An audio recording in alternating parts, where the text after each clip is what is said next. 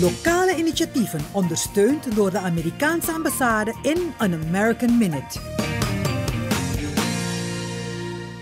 My name is Julie Sundar and I'm chairwoman of CODET's Foundation. CODET's goal is to educate women in innovation and ICT. CODET is currently running a one-year program sponsored by the U.S. Embassy. In this program, we train ladies from the age of 16 to 45, beginning to advanced level of electronics, programming, and digital manufacturing.